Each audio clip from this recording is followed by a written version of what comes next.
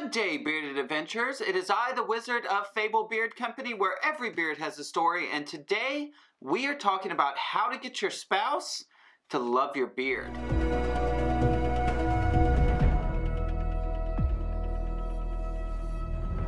Welcome back to another video. My name is Colin Gray from Fable Beard Company, where every beard has a story. If this is your first time to the channel, please consider hitting that subscribe button, as well as liking the video and leaving a comment down in the comment section below because we love engaging with each and every one of you. Today's topic is going to be three tips to help your spouse love your beard. It may come as a, to a shock to some men, but not all women love beards. And specifically, if you've been married or been in a relationship for a long period of time where you didn't have a beard, suddenly growing one will come as a shock to your spouse, and that uh, always not well received. So how can, what can you do to combat this and overall make it a great bearded experience for both you and your significant other?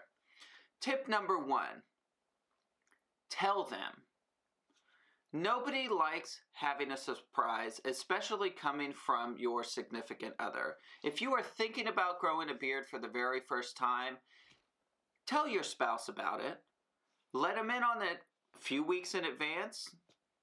Ask their opinions, ask their input, and overall, tell them at the end of the day that you're going to be growing a beard because it's something that you want to try out. And even though it may seem a little weird at first, but to give you give you a little leeway and kind of roll with it and see how it goes often communication is the best tool in a relationship and simply by communicating this to your spouse instead of just springing it on them out of nowhere is often one of the best keys to success when it comes to growing a beard and having your spouse love that beard as well.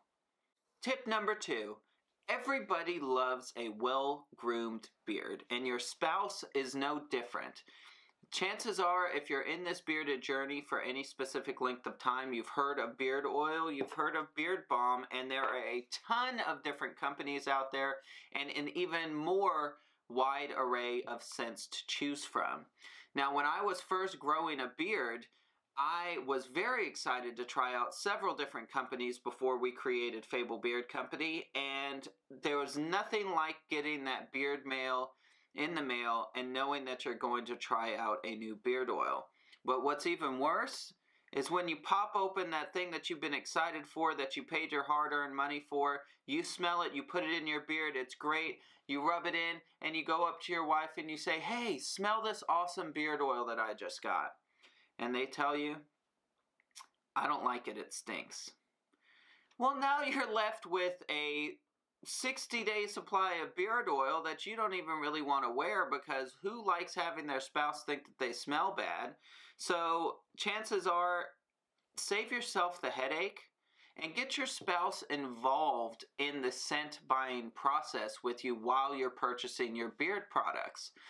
Don't just go, oh, hey, well, they may like this or they may not like this. Ask them. Chances are that they will enjoy the experience of buying a beard oil with you. Tip number three. Our final tip of the video goes to something a little more unconventional. Women have a routine when it comes to their beauty products, when it comes to their hair care, when it comes to their skin care, and overall getting themselves ready throughout the day. Every woman's different. Some women take five minutes of the day, some women take an hour of the day to get ready and head out the door into their normal routine. Now, part of beard grooming and maintaining a well groomed beard is participating in those grooming habits brushing, combing, beard oil, beard balm. How do you use the products? What does it take to blow dry a beard or comb through your beard?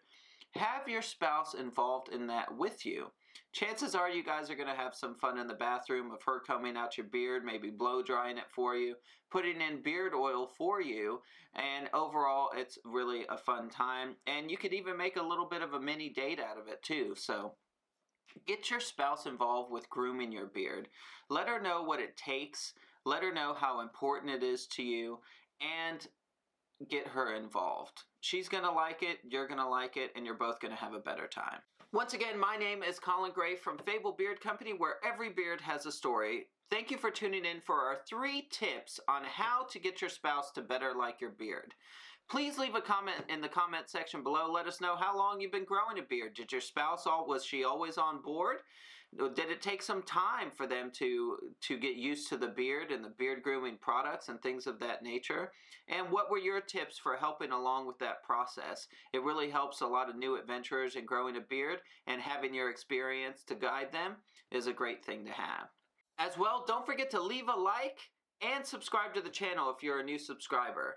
If you're interested in seeing any of our other bearded tips and tricks related videos, you can click on that button in the top right hand corner and that will take you to a playlist of all of our other bearded videos.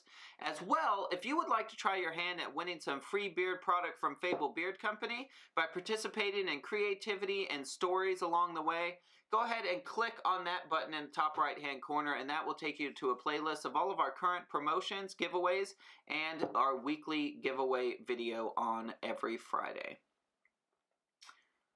As always, until next time, may your beard be forever blessed and treasure forever upon your door.